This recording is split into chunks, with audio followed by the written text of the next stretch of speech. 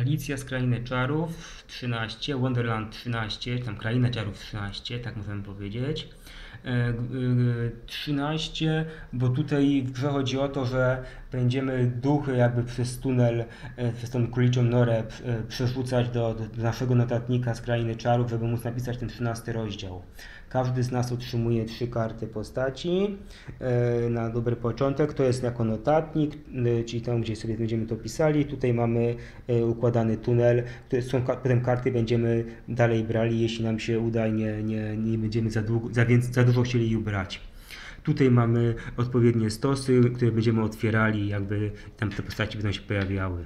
Więc biorę dwa klucze zawsze na początku i mam fazę eksploracji, czyli odkrywania tej krainy czarów. Muszę jedną kartę ze swoich e, położyć e, na, na wybranym stosie, kluczyk oddać, że otworzyłem i biorę te dwie stąd do tunelu. E, dwie identyczne mi się wzięło.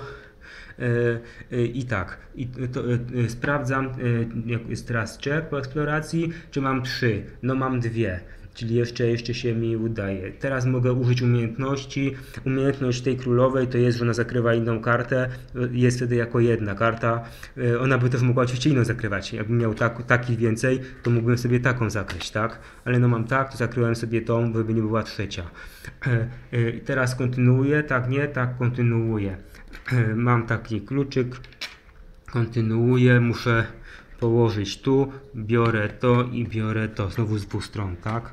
I mam takie coś, czy ja chcę kontynuować.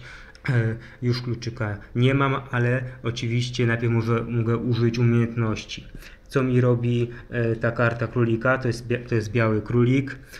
Biały królik robi to, że mogę do swojego tunelu jedną kartę wziąć z takich w ciemno zakrytych. Powiedzmy, że wezmę, no byłby Joker, ale nie, bo tutaj ta karta jest akurat chroniona przez tą, więc, więc nie ma źle, tak?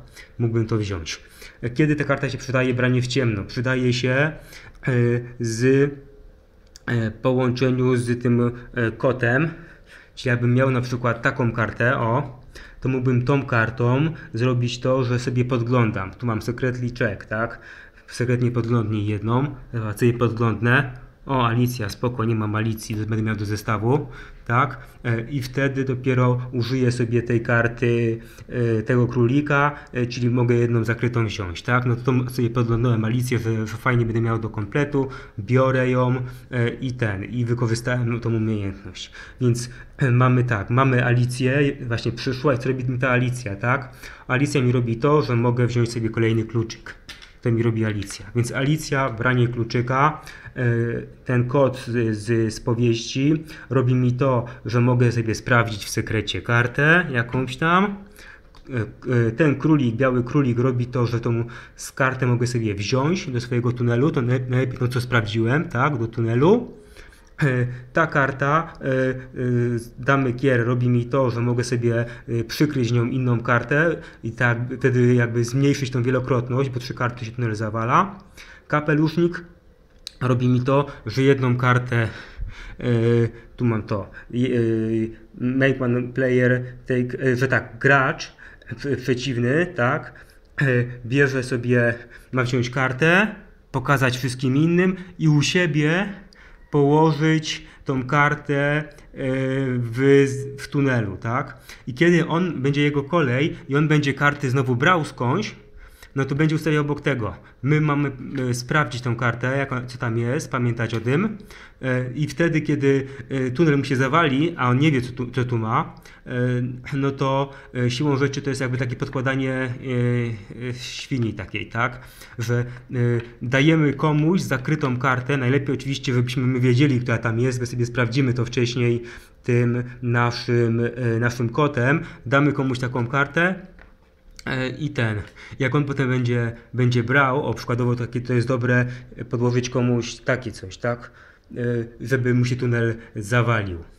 E, I on tego nie widzi, nie wie co tam jest. Więc to jest z kapelusznika e, podkładanie e, takiej, takiej karty komuś do tunelu.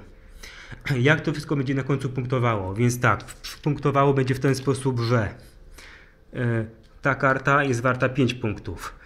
Zestaw kart, raz, dwa, trzy, cztery, pięć, zestaw e, jest wart 15 punktów I tu mam zestaw 15 punktów, 5 punktów e, ten cała gromadka postaci. Natomiast tutaj, jak będę miał więcej, to poza tym, tak, mam jedną, dwie więcej, czyli jeden punkt, dwa punkty więcej.